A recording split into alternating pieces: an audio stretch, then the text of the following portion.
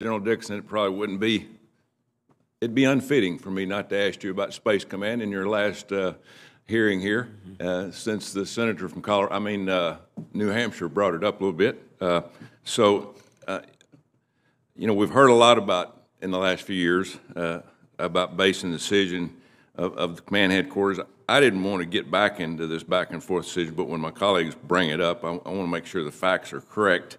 Uh, General, in 2019, the Air Force identified six suitable locations for Space Command. Is that correct?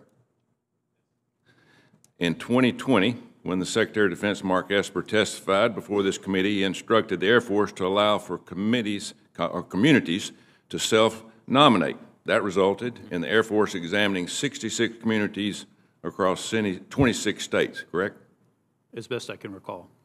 It was an exhaustive selection process that weighed 21 different factors and involved site visits, interviews, inputs from up and down the chain of command. That process took eight months, correct? As best I can Thank recall. you. Uh, Which community ranked number one in your, in that analysis at the end of the day?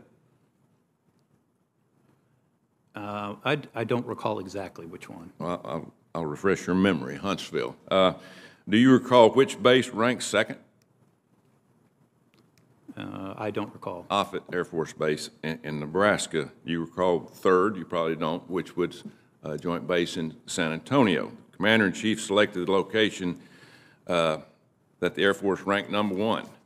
Uh, So, yet since the President selected Huntsville the location, the Air Force study ranked number one in January 2021, we've had two years of delay.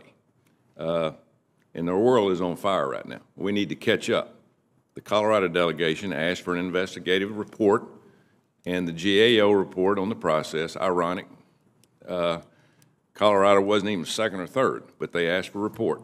So when the GAO examined this process, they said, I'm going to quote here, the Redstone Arsenal ranked as the highest scoring location in the evaluation phase, the highest ranked location in the selection phase, and the location with the most advantages in the decision matrix.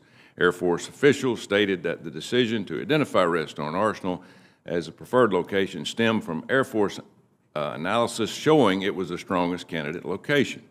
Uh, so, you know, we've gone back and forth with this, and, and, and I, I know uh, uh, Secretary Kendall is going back and forth on. Hopefully, we get this done. Hopefully, we get it done before before your term's out. Uh, I know that we've got commercial people that are involved in this. Uh, I know commercial people are going to be hugely involved in our in Space Command in years and years to come. Uh, and uh, we look forward to all of that coming together in one location in the very near future.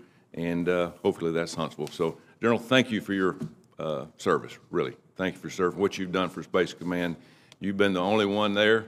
You brought it from infancy. You've done a great job. Thank you. Thank you. Thank you.